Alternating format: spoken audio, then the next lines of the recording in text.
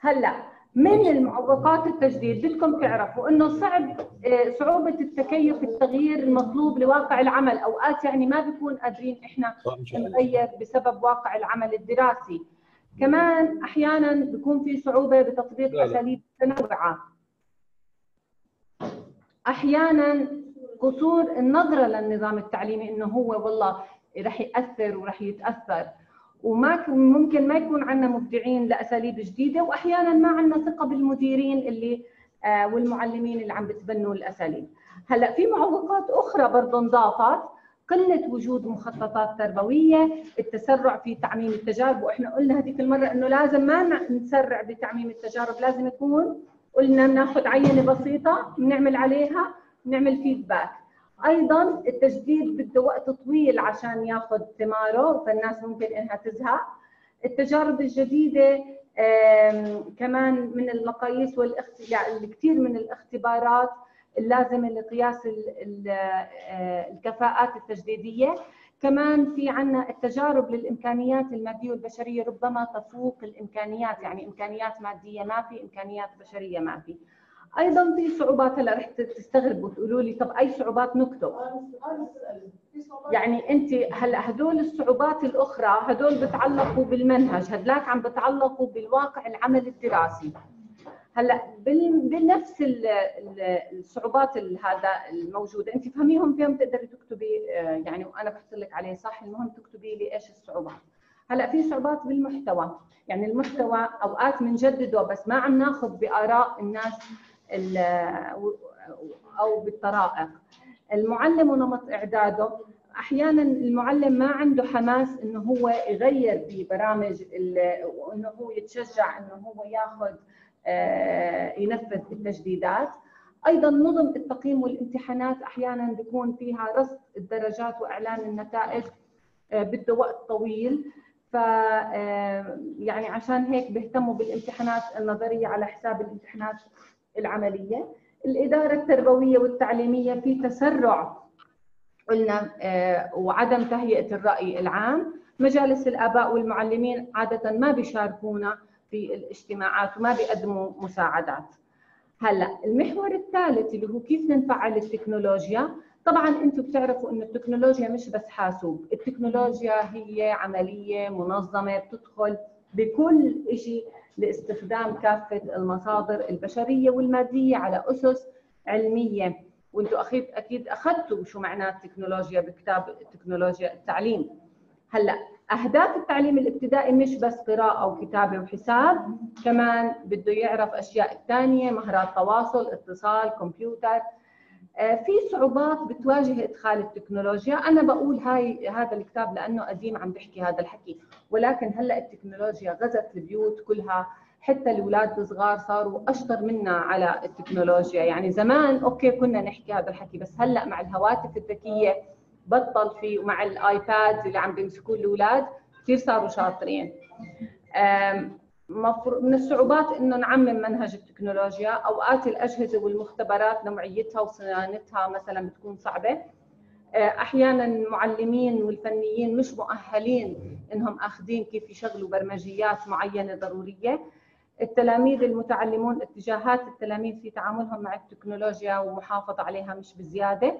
الاهتمام العام المدرسة أولياء الأمور ممكن في عندهم اتجاهات سلبية نحو الإنترنت.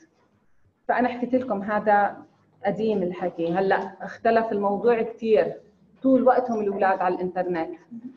هلأ متطلبات التجديد لابد من التوعية بدور التكنولوجيا.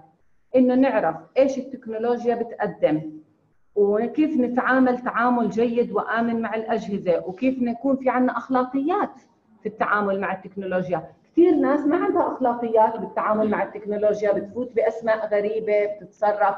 فإحنا بدنا نوعي حتى الأطفال من هم وصغار إنه في أخلاقيات برضه هلأ مو هلأ أنتم بتعرفوا هلأ الدنيا. ما عادت بس الأخلاقيات اللي إحنا بنعرفها اللي عشنا عليها. قد ما توسعت الحياة وفي ظل العولمة صار حتى في أخلاقيات وأنت بتتعامل مع التكنولوجيا. في هذا المجتمع الرقمي إحنا بنسميه. يعني أنت ممكن تفوت برقم ما حدا يعرفك تروحي تحكي إيش ما بدك تعملي إيش ما بدك. هذا لا يجوز صح؟ واصلا هلأ في صار شيء اسمه آه، في محاسبة وفي آه، في جرائم إلكترونية. فبتحاسبوا الناس عليها. هلا الإعداد والتدريب لابد من الإعداد الكامل للمعلم وكيف يعمل فيديو كونفرنس وفي تجارب لوزارة التربية والتعليم في الأردن إنه عملوا حصص كثيره شبكوا مع هولندا ومع كثير بلاد ياخذوا حصة علوم مع بعض بال video conference تجارب عالمية. آه، فالمفروض إنه المعلم يعرف آه، بال video conference وكمان نعده بالتكنولوجيا ونعمل له تنوير تكنولوجي وكمبيوتري وكيف حتى يعمل صيانة إذا خرب معاه شيء وإعداد برامج تدريبية متنوعة. هلأ كيف لازم نطور المنهاج؟ بيقول لك هون لازم إنه تقللي من المهارات الروتينية التقليدية وتعطيهم مساحة إنهم هم يعبروا ويفكروا تنمية ثقافة الإبداع والتحليل. وكمان إنهم يستثمروا قدرات الحاسبات اليدوية. ويستخدموا وسائط تفاعليه مختلفة. ويتأكدوا إنه التكنولوجيا هي حليفة وليست خليفة. يعني إحنا ما بنستغني عن المعلم في ظل التكنولوجيا. المعلم أساسي والتكنولوجيا هي مساعدة للمعلم عشان يوصل الأهداف. وكيف بنقدر إحنا نطور نظم الامتحانات وتقويمهم حفظ سجلاتهم نكون منظمين بطريقة تكنولوجية.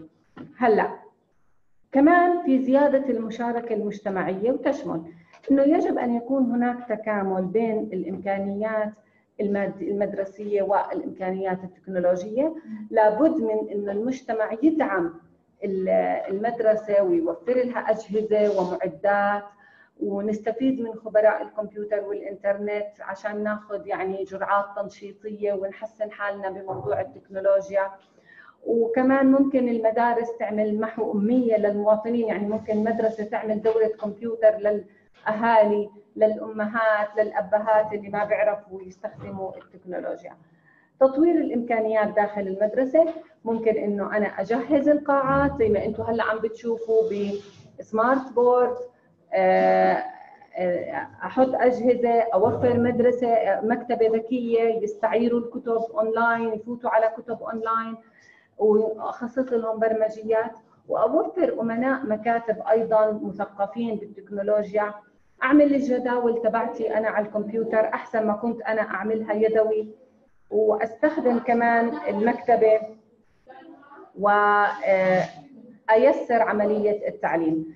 لابد من توفير متطلبات إدارة ذكية وسهولة الاتصال. لابد من يكون في قاعدة حتى للتلاميذ ملفاتهم كلها آه على الكمبيوتر. هلا التعليم الذاتي التكنولوجيا ما بتختصر على إنه أنا بس بدي أستخدم آلات وأجهزة ولكن لابد من إدارة المعرفة والممارسة التي تستخدم في عملية التعليم. وبنستخدم كمان مش بس تعلم ذاتي نستخدم تعلم تعاوني نعمل لهم groups ويشاركوا. شفتوا كيف هذا ال tutor group form مثلا؟ يصيروا الطلاب تكنولوجيا التعليم. آه، منظور آه، مكتب اليونسكو بيحكي عن إنه لابد من إنه نتعامل مع التكنولوجيا ونقدم لكافة الطلبة فهم التكنولوجيا وتطبيقها. هلأ في دليل إرشادي بال 2003 بس اقراوا قراءة. بس قراءة. إنه أول شيء لازم يكون في طبيعة التكنولوجيا خصائص حقول التكنولوجيا شو فائدتها تطورها. هيك هو هذا الدليل بيحكي. آه وحاكي عن الإبداع الإنساني والحوافز والمفاهيم الأساسية من أنظمة ومصادر كذا. هلأ شو العلاقة بين التكنولوجيا والعلوم الأخرى؟ لابد من تفاعل بين الأنظمة والمحيط التكنولوجي معارف من علوم. هلا كيف التكنولوجيا مع المجتمع؟ أنتم بتعرفوا انه دخلت التكنولوجيا على الاقتصاد دخلت على الاجتماع صح؟ آه، دخلت على السياسة على البيئة اختراعات على طول ومنتجات كلها عمالنا بنستخدمها تكنولوجية.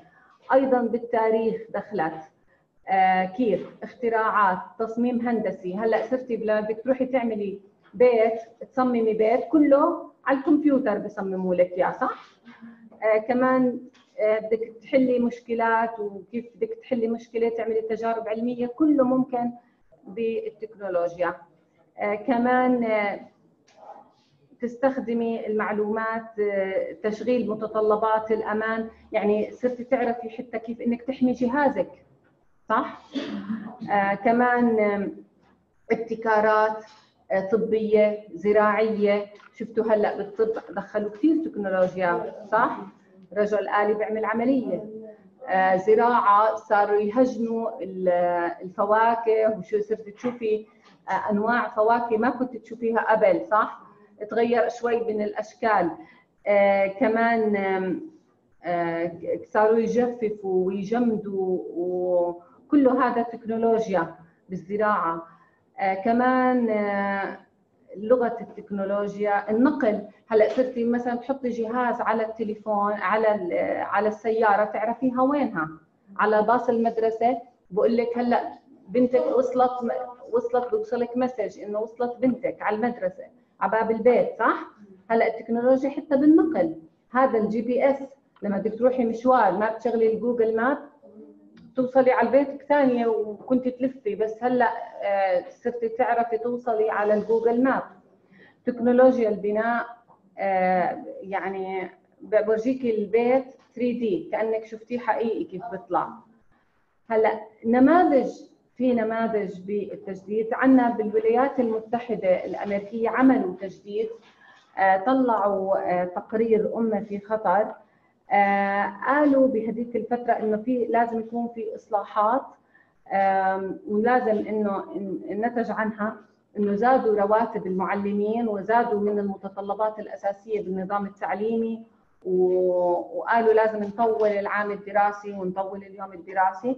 اعتمدوا على مبدأ الإدارة من أعلى إلى أسفل وأيضا آه في موجة الإصلاح كمان ركزوا بشكل أساسي على العلاقة بين المدرسين والعائلات وشو بيحتاجوا المتعلمين والإصلاح كان آه، اللي عملوه آه، فيه تأثير فعال وشجعهم على هذا الحكي. وكان في عناصر خمسة هم هون تشوفيهم ثلاثة بس هم خمسة.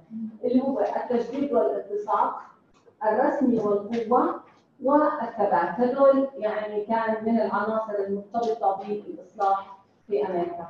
مدارس ميثاق في الولايات المتحدة اللي هي charter school هون صارت تقول إنه آه، يعني على ضروره الإصلاح ونحسن من ال quality تبعت المدرسة. آه وقالوا إنه آه يعني حتى شجعوا روح الإصلاح في المدارس الثانية.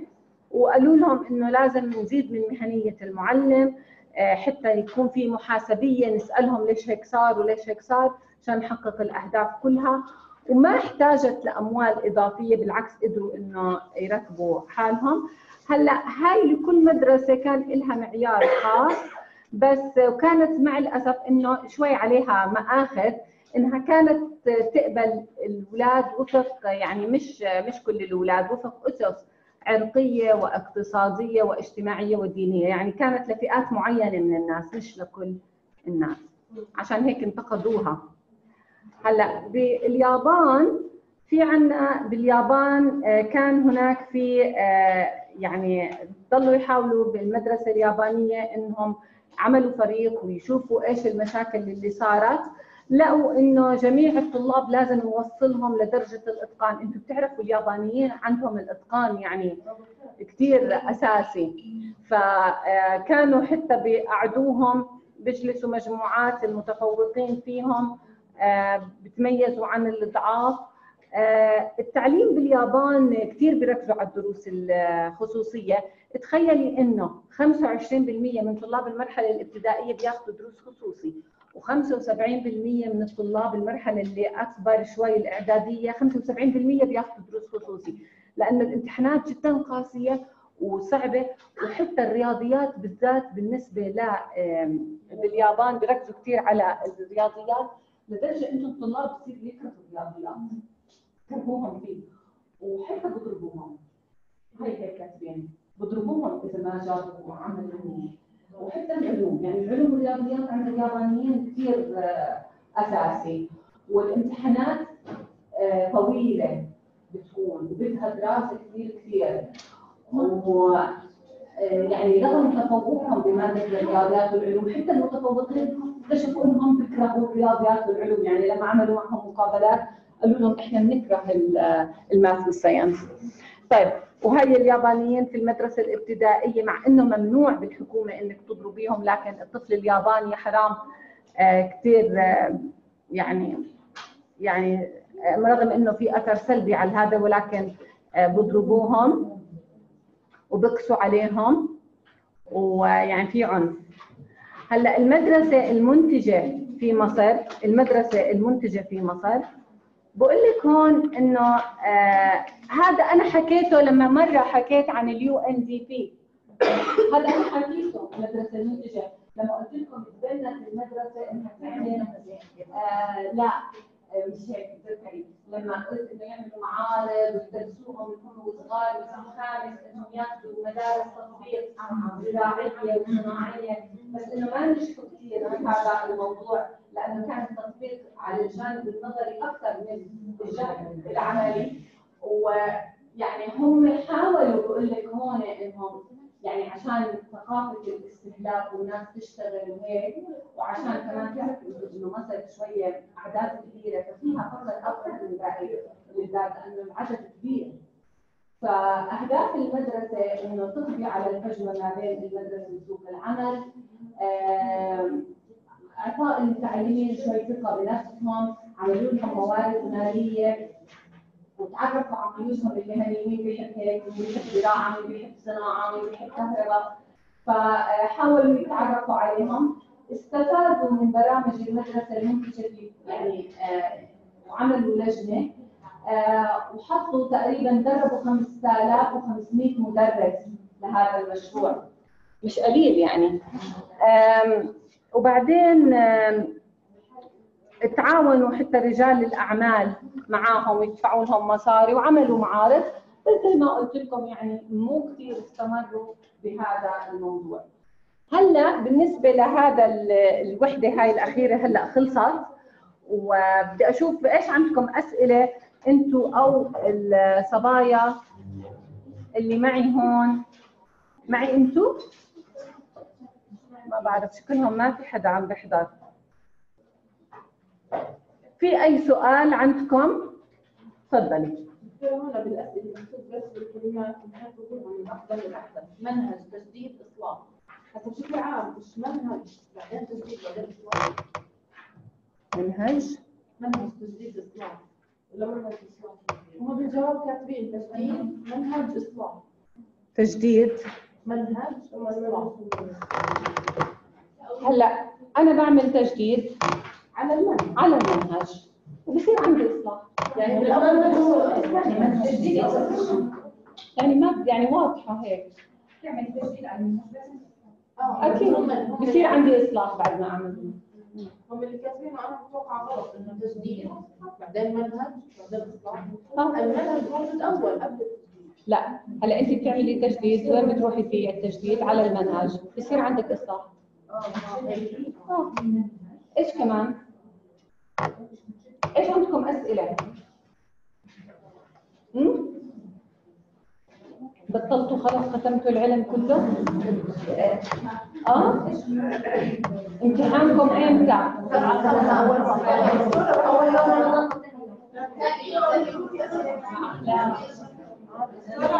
عشان هيك لازم تدرسوا قبل رمضان. أول يوم رح تكونوا ملخومين وجوعانين وعم تفكروا بالأكل. لا. كثير قليل.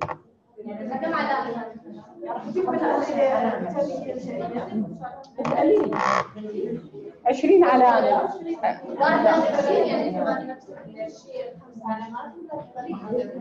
هالمرة 10 يمكن.